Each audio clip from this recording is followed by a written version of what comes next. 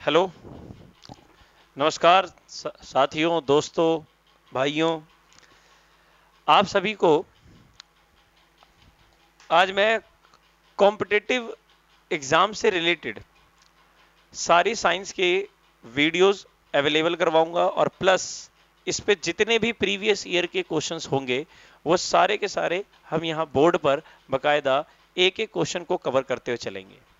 ताकि in future आपको किसी भी कॉम्पिटिटिव एग्ज़ाम में बैठने पर कोई भी क्वेश्चन ऐसा ना लगे कि हमने ये कभी देखा नहीं या कभी पढ़ा नहीं। तो आप सब मेरे साथ बने रहिए और एक अद्भुत नज़ारे का इंतज़ार कीजिए जब आप सभी के ये सारे क्वेश्चंस आपके एग्ज़ाम में एज इट इज़ दिखाई देंगे और आपके लिए ये चुटकी बजाने बराबर एक खेल होगा। तो आइए शुरू करते हैं। फिजिक्स एक आज हम फिजिक्स से शुरू करने जा रहे हैं बच्चों। वैसे आपके पास फिजिक्स केमिस्ट्री और बायो साइंस के तीन पार्ट्स हैं, जिसमें मैं सबसे पहले फिजिक्स शुरू करा रहा हूँ। और प्यारे बच्चों फिजिक्स का सबसे पहला टॉपिक कुछ भी हो सकता है। मैं आपको बिल्कुल बेसिक मेज़रमेंट से भी शुरू करा सकता हूँ। लेकिन मैं ऐसी चीज़ आपके सामने सबसे पहले लाने जा रहा हूँ, ताकि आपको फिजिक्स में इंटरेस्ट आए। आपको ऐसा ना लगे कि हाँ भाई फिजिक्स पढ़ लिया तो ये कितने टफ चीज़ है। ये न्यूमेरिकल क्या आ गया? ये फॉर्मूला क्या आ गया? ये क्यों पढ़ लिया हमने? तो आइए शुरू करते हैं। सबसे पहला टॉपिक आप सबके लिए इलेक्ट्रिसिटी मैंने इस टॉपिक को इसलिए उठाया है, जिसे हिंदी में हम कहेंगे विद्युत। ये टॉपिक बच्चों मैंने सबसे पहले इसलिए उठाया है, क्योंकि मुझे पता है कि विद्युत और इलेक्ट्रिसिटी वाला ये जो चैप्टर है, ये इतना इंटरेस्टिंग है कि बच्चे को फिजिक्स से प्यार करवा देगा। और जब आपको फिजिक्स पसंद आने लग जाएगी तो अपने आप उसके साथ आपका इंटरेस्ट जुड़ता चला जाएगा और फिर फिजिक्स का कोई सा भी टॉपिक आपके सामने आएगा तो आप वो इजिली हैंडल कर सकेंगे। आपको बोरिंग कहीं फील नहीं होगा। क्योंकि सब्जेक्ट के अंदर इंटरेस्ट तभी आता है हमारा जब हम उसको धीरे धीरे धीरे धीरे उसके अंदर इन्वॉल्व होने लग जाते हैं। तो आइए इन्वॉल्व होते हैं। आइए इन्वॉल्व होते हैं। इलेक्ट्रिसिटी, विद्युत। बच्चों, सबसे पहली बात कि इलेक्ट्रिसिटी क्या है? तो हमने पहला पार्ट देखा कि इलेक्ट्रिसिटी क्या है। What is the electricity what is the electricity Hindi में हमने देखा, विद्युत क्या है? तो हमारे जहन में आंसर आया कि it is a flow of electrons which is which is which is free in state free in state of conduct in conductor या इन वायर ठीक है भाई? क्या it is a flow of electron which is free in state in wire मतलब क्या? कि तार में यह एक यह एक इलेक्ट्रॉन की प्रवाह है, जिसमें जिसमें जिसमें इलेक्ट्रॉन जिसमें इलेक्ट्रॉन जिसमें इलेक्ट्रॉन मुक्त अवस्था में पाए जाते हैं, मुक्त अवस्था में पाए जाते हैं, में पाए जाते हैं। ठीक है जी? तो यानी हमने क्या देखा बच्चों कि इलेक्ट्रॉन जो है, इलेक्ट्रॉन जो है, ये वायर के अंदर फ्लो करते हैं और वो इलेक्ट्रॉन तार के अंदर किसमें पाए जाते हैं? फ्री स्टेट में पाए जाते हैं, मुक्त अवस्था में पाए जाते हैं। आपको यही बताना है कि भाई इलेक्ट्रिसिटी क्या है? एक इलेक्ट्रॉन की प्रवाह है फ्लो ऑफ़ इलेक्ट्रॉन है, जो वायर के अंदर कौन से स्टेट में पाए जाते हैं? फ्री स्टेट में पाए जाते हैं। अब ये बच्चों फ्री स्टेट क्या चक्कर है? तो चलिए आइए, एक पहले एग्ज़ाम्पल देख लेते हैं। मान लीजिए ये एक वायर है। मान लीजिए क्या है? ये एक वायर है। और जब तक इसके ऊपर कोई एक्सटर्नल फोर्स नहीं लग रहा है, कोई एक्सटर्नल फोर्स नहीं लग रहा है, बाह्य बल नहीं लग रहा है तो इलेक्ट्रॉन्स क्या कर रहे हैं? अपने फ्री मूव है। अभी एक्सटर्नल फोर्स नहीं लग रहा है। तो कहीं भी पड़े हुए कहीं भी पड़े हुए ये लीजिए, कहीं भी इधर उधर पड़े हुए मतलब कहने का अर्थ क्या है? एक तरह से अगर किसी बच्चे को उसके पेरेंट्स फोर्स ना करें कि भाई पढ़ लो, ज़िंदगी में कुछ बन जाओगे, ऐसा वैसा कुछ, ठीक है? इस तरीके से फोर्स ना करें तो बच्चा क्या रहता है? पढ़ा रहता है। जैसे आप सभी ने इसका एक्सपीरियंस कर लिया कब? लॉकडाउन में। जब अभी लॉकडाउन था तो आप सभी ने क्या देखा कि मोस्टली मोस्टली बच्चे जितने भी थे, घर में पूरे दिन पड़े रहते थे। क्यों? स्कूल जाना नहीं ट्यूशन जाना नहीं कोई क्लास हो नहीं रही है, कोई होमवर्क आ नहीं रहा है तो बच्चा पूरे दिन क्या हुआ है भाई? घर पे पड़ा हुआ है, कभी पबजी में लगा हुआ है, कभी किसी गेम में लगा हुआ है, कभी दोस्तों के साथ वीडियो कॉल में लगा हुआ है तो मतलब क्या बच्चा बस ऐसे ही पड़ा हुआ है? पेरेंट्स ने भी छोड़ दिया, चलो कोई नहीं, अभी कुछ नहीं हो रहा, पढ़ाई वढ़ाई, ठीक है, बच्चा भी नॉर्मल लेकिन जब उन्होंने देखा कि भाई लॉकडाउन एक दिन से पंद्रह दिन का हो गया, पंद्रह दिन से एक महीने का हो गया, फिर भाई पेरेंट्स की आँखें खुल गई कि भैया, अब तो ये ऐसे ही चलेगा। तो पेरेंट्स ने क्या करना शुरू किया? बच्चों को फोर्स करना शुरू किया कि भाई पढ़ाई करो। चलो ऑनलाइन क्लास लो। ऐसे करो, वैसे करो। मतलब कुछ ना कुछ नई नई कहानियाँ उनके सामने ला ला के रखते गए और फिर स्कूल वालों ने भी ऑनलाइन क्लासेस के ज़रिए, जैसे आज मैं आपके सामने ऑनलाइन में पेश हो रहा हूँ, इसी तरीके से उन लोगों को भी ऑनलाइन फोर्सफुली करवाना शुरू कर दिया। इवन अब तो मेरे ये सुनने में आ रहा है कि ऑनलाइन एग्ज़ाम्स भी हो रहे हैं। तो लीजिए, यानी हमने क्या देखा कि एक प्रेशर बनाने का टेक्निक आया। अब जैसे ही प्रेशर आया बच्चों पे तो बच्चे क्या आ गए? फ्लो में आ गए। तो वही चीज़ है ये। अभी इलेक्ट्रॉन्स फ्री इलेक्ट्रॉन्स यानी इलेक्ट्रॉन जो है वायर के अंदर फ्री स्टेट में पड़े रहते हैं। कब तक? जब तक उन पर कोई एक्सटर्नल फोर्स ना लगे। जैसे, अगर मैं बात करूँ कि भाई लाइट की, ठीक है? आप अपने घर में कोई लाइट की स्विच बंद कर दो। लाइट बंद?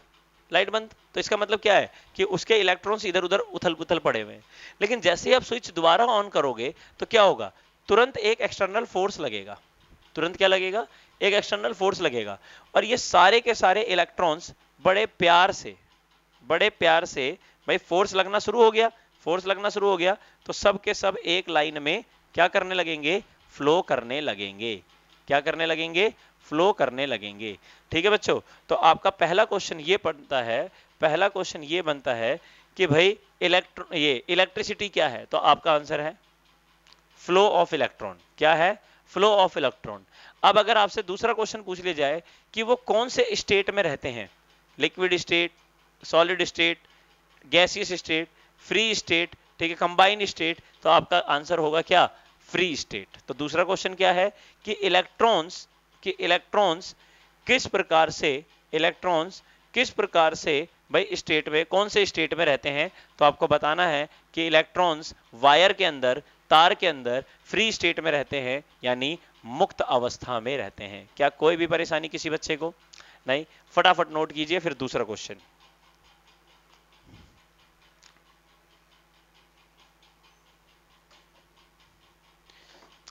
ठीक है? और बच्चों नोट कैसे करना पता है ना? आपको मैं बता दूँ वीडियो जैसे ही मैं हटूँगा सामने से वीडियो पॉज करनी है, पहले नोट कर लेना है, फिर वीडियो दोबारा ओपन कर लेनी है। चलिए, अब आता आपके सामने क्वेश्चन नंबर दो। पहला क्वेश्चन हमने क्या पढ़ा कि इलेक्ट्रॉन क्या, ये इलेक्ट्रिसिटी क्या है? तो electricity of flow of electron है। हाँ जी और फ्लो ऑफ़ इलेक्ट्रॉन होने की वजह से वो किसमें पाया जा रहा है?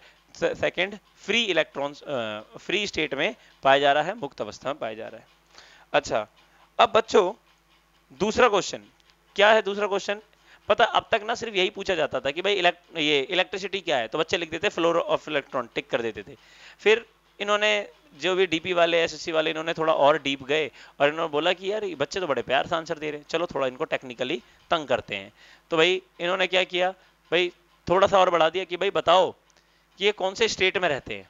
तो भाई, ले भाई, अब ये रहते कहाँ हैं? तो रहने का वजह पता किया तो वो वायर के अंदर ही रहते हैं, लेकिन फ्री स्टेट में रहते हैं। अच्छा चलो यहाँ तक पहुँच गए। अब बात आ रही है कि भाई जब इतना देख लिया एसएससी वालों ने, सबने, इन्होंने देख लिया कि यार ये तो इसका भी जवाब दे रहे हैं। चलो थोड़ा और टेक्निकली और ऊपर जाते हैं। तो उन्होंने बोला कि भाई आखिरकार ये इलेक्ट्रॉन आखिरकार ये इलेक्ट्रॉन हमें दो बातें पता है। बच्चों देखो, तीन चीज़ें होती हैं इस दुनिया में। वैसे तो बहुत सारी चीज़ें होती है, लेकिन तीन बातें बता रहा हूँ। मेटल नॉन मेटल और मेटलॉइड्स मेटलॉइड्स इसके बारे में अभी हमें जानकारी नहीं रखनी है। हमें सिर्फ़ इन दोनों के बारे में। हिंदी में धातु आधातु और उपधातु। और मैंने बता दिया इसके बारे में आप लोगों को कोई जानकारी अभी नहीं रखनी है। पहले हम इन दो के बारे में करेंगे। जब आगे बढ़ेंगे तब जाके मैं उसकी बात भी छेड़ूँगा टेंशन मत लेना। हाँ जी मेट, मेटल नॉन मेटल अब हमने देखा कि भाई इलेक्ट्रिसिटी जो है ना सिर्फ़ और सिर्फ़ इलेक्ट्रिसिटी जो होती है विद्युत जो होता है वो सिर्फ़ और सिर्फ़ मेटल में फ्लो करता है। मेटल में फ्लो कर रहा है। लेकिन नॉन मेटल में इलेक्ट्रिसिटी नहीं फ्लो कर रहा भाई। इलेक्ट्रिसिटी फ्लो नहीं कर रहा। विद्युत जो है, वो प्रवाह नहीं कर रहा। ठीक है? एक दो में करता है एक्सेप्शन केस है वो। ठीक है? जब मेटल का चैप्टर पढ़ेंगे, तब बताऊँगा मैं। ठीक है? कि भाई नॉन मेटल में इलेक्ट्रिसिटी फ्लो नहीं कर रही, लेकिन मेटल में इलेक्ट्रिसिटी फ्लो कर रही है। तो ऐसा रीजन क्या है? क्या बात हो गई भाई फ्लो करने का? तो ये बात ना एसएससी वालों के दिमाग में बैठ गई। कि भाई हर बार हम इलेक्ट्रिसिटी से ऐसा नॉर्मल सा क्वेश्चन पूछ लेते हैं। आओ, बच्चों को थोड़ा सा और टेक्निकली चेक किया जाए कि बच्चे क्या और भी ज़्यादा नॉलेज रखते हैं। तो चलिए, शुरू करते हैं। हाँ जी, बच्चों, मैं आपको बता दूँ, आप सभी ने केमिस्ट्री में थोड़ी सी चीज़ें तो पढ़ी हैं, जिनमें से एक चीज़ आपने पढ़ा होगा एटम क्या पढ़ा होगा? एटम ठीक है? परमाणु। और इस परमाणु के बारे में आपने ये पढ़ा है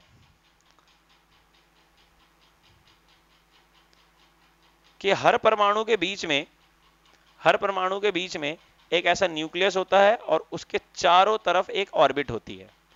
ये कौन है? ऑर्बिट। हिंदी में कहते हैं इसको कक्ष। और ये कौन है? नाभिक। इंग्लिश में कहते हैं न्यूक्लियस। ठीक है? अच्छा अब मैं आपको यह बता दूँ। आपको यह बात पता है कि इसके अंदर क्या होता है? Neutron, proton. और इसके चारों तरफ़ चक्कर कौन लगाता है? इलेक्ट्रॉन। इसके चारों तरफ़ चक्कर क्या लगाता है? इलेक्ट्रॉन।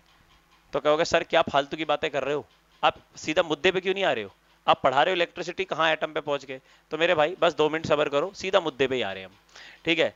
अब बात आती है कि भाई मेटल में इलेक्ट्रिसिटी करता है फ्लो लेकिन नॉन मेटल में इलेक्ट्रिसिटी नहीं करता फ्लो तो रीजन एटम का हिसाब किताब समझ में आ गया होगा। कि एटम के अंदर एक होता है न्यूक्लियस और उसके चारों तरफ़ होता है ऑर्बिट जिसमें बाहर कौन घूम रहा है? इलेक्ट्रॉन घूम रहा है। तो अब बात आती है कि मेटल के अंदर इलेक्ट्रिसिटी फ्लो क्यों किया? वो इसलिए किया क्योंकि बच्चों, एक बात याद रखना।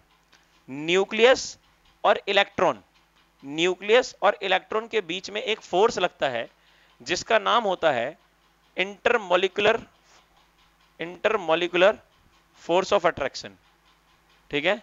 Intermolecular force of attraction force of attraction Hindi में अंत नाभिकीय आकर्षण बल। ठीक है? अंत नाभिकीय आकर्षण बल। ये किसके किसके बीच में लगता है? न्यूक्लियस के और इलेक्ट्रॉन के बीच में यहाँ पे एक फोर्स लगता है इन दोनों के बीच में, जिसका नाम होता है इंटरमोलिकुलर फोर्स ऑफ़ अट्रैक्शन या अंत नाभिकीय आकर्षण बल। ये किसके बीच में लगता है? न्यूक्लियस के और इलेक्ट्रॉन के बीच में लगता है। समझ में आ रही बात? अब देखो, अब मैं आपको बताना चाहूँगा कि मेटल के अंदर ये अट्रैक्शन मेटल के अंदर ये अट्रैक्शन होता है वीक यानी कि दुर्बल होता है। कैसा होता है? दुर्बल होता है। ठीक है? और जबकि नॉन मेटल के अंदर यह अट्रैक्शन कैसा होता है? स्ट्रांग होता है। कैसा होता है? स्ट्रांग मतलब प्रबल होता है। तो अब एक बात बताओ सीधी सी बात है भाई अट्रैक्शन का मतलब क्या हुआ? अपनी तरफ़ खींचना। अट्रैक्शन का मतलब वो अपनी तरफ़ खींचना। तो अब एक बात बताओ मेटल के पास कैसी वी, कैसा फोर्स है? बिल्कुल वीक अट्रैक्शन है बिल्कुल कमज़ोर अट्रैक्शन है। तो जब कमज़ोर अट्रैक्शन है तो अपनी तरफ़ क्या खींच पाएगा? क्या ये अपनी तरफ़ खींच पाएगा? अजी नहीं खींच पाएगा। क्यों नहीं खींच पाएगा? क्योंकि मेटल के साथ जो है मेटल के अंदर जो है, नाभिक का न्यूक्लियस का और इलेक्ट्रॉन का फोर्स ऑफ़ अट्रैक्शन कैसा है? फोर्स ऑफ़ अट्रैक्शन कैसा है? वीक अट्रैक्शन है। और वीक अट्रैक्शन होने की वजह से जब हम लोग वहाँ से खटका दबाते हैं स्विच दबाते हैं तो इलेक्ट्रॉन का फोर्स लगता है और ये क्या करने लगते हैं? मूव करने लगते हैं। ये सारे के सारे क्या करने लगते हैं? मूव करने लगते हैं। लेकिन भाई नॉन मेटल के अंदर इलेक्ट्रिसिटी फ्लो नहीं करती। क्यों? क्योंकि मेरे भाई, यहाँ पर नॉन मेटल के अंदर इंटरमोलिकुलर फोर्स ऑफ़ अट्रैक्शन अंत नाभिकीय आकर्षण बल कैसा है? स्ट्रॉन्ग है, प्रबल है। वो इलेक्ट्रॉन को इतनी करीब खींच लेता है, इतनी ज़्यादा ताकत से इलेक्ट्रॉन को अपने पास खींचता है, कि उसको आगे फ्लो होने की ताकत देता ही नहीं। मतलब अगर एक्सटर्नल फोर्स भी लगा देंगे ना तो इसकी ताकत ज़्यादा हो जाती है, जिसकी वजह से इलेक्ट्रॉन को आगे फ्लो करने नहीं देता। लेकिन यहाँ पे क्या है? यहाँ पे इसका इंटरमोलिकुलर अट्रैक्शन फोर्स कैसा है? वीक है, जिसकी वजह से जैसे ही एक्सटर्नल फोर्स लगता है, ये आगे क्या करने लग जाता है बच्चों? मूव करने लग जाता है। आगे क्या करने लग जाता है? मूव तो अगर आपसे पूछ ले, अगर आपसे पूछ ले कि हाँ जी इलेक्ट्रिसिटी के अंदर इलेक्ट मेटल के अंदर जो इलेक्ट्रिसिटी फ्लो कर रही है, वो मूव कौन से फोर्स के कारण कर पाती है? तो आपका आंसर है weak intermolecular force of attraction दुर्बल, अंत नाभिक अंत नाभिकीय आकर्षण बल। तो बच्चों, याद रखना मेटल के अंदर मेटल के अंदर दुर्बल, अंत नाभिकीय आकर्षण बल weak intermolecular force of attraction की वजह से इलेक्ट्रॉन फ्लो कर पाता है। किसमें वायर में। जबकि नॉन मेटल में क्यों नहीं कर पाता? क्योंकि strong intermolecular force of attraction होता है, प्रबल अंत नाभिकीय आकर्षण बल होता है, जिसकी वजह से नॉन मेटल में इलेक्ट्रिसिटी फ्लो नहीं करती, जबकि मेटल के अंदर इलेक्ट्रिसिटी फ्लो करती है। पल्ले पड़ गए बच्चों? फटाफट नोट कीजिए इसको वीडियो पॉज करके।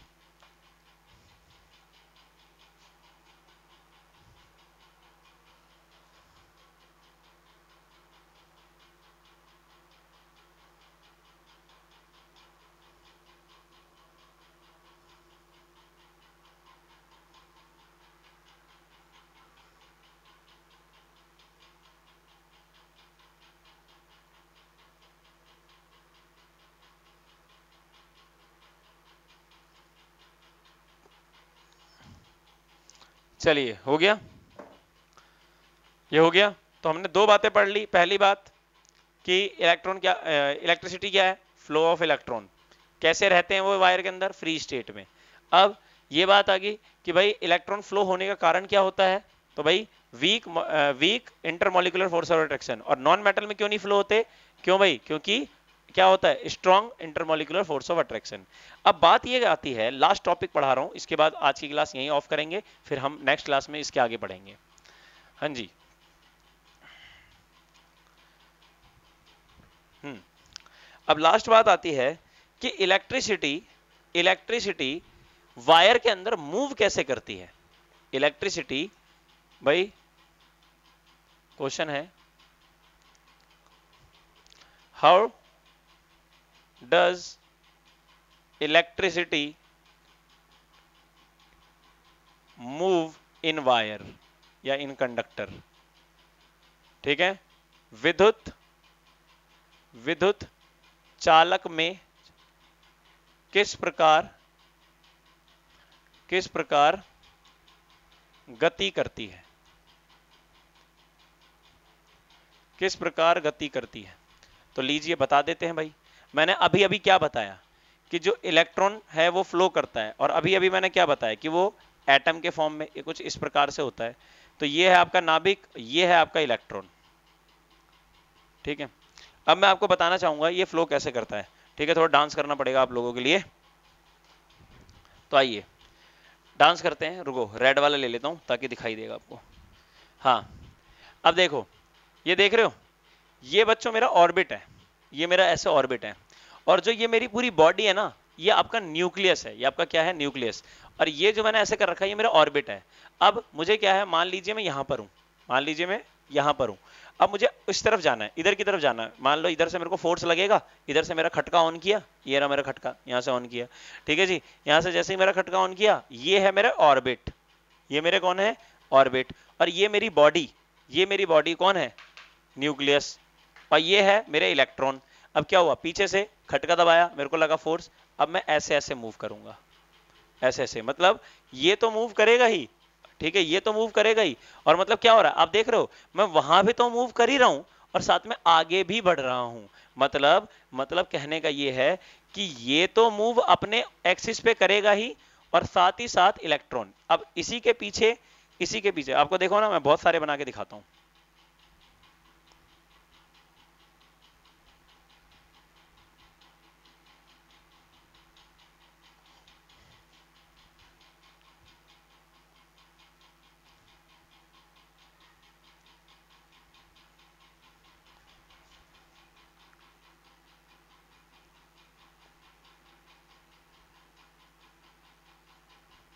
देख रहे हो? मतलब क्या?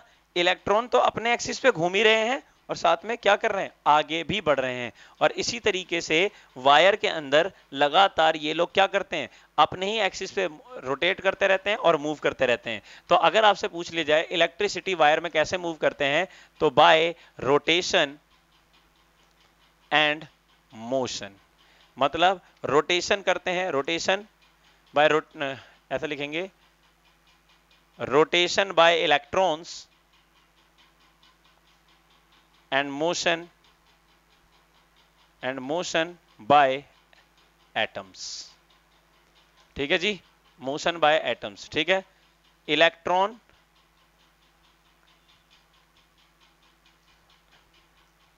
इलेक्ट्रॉन का परिक्रमण और परमाणु की गति। और परमाणु की गति। उसी के साथ साथ ये पूरा इलेक्ट्रॉन क्या कर जाता है? मूव कर जाता है और क्या जनरेट हो जाती है बच्चों?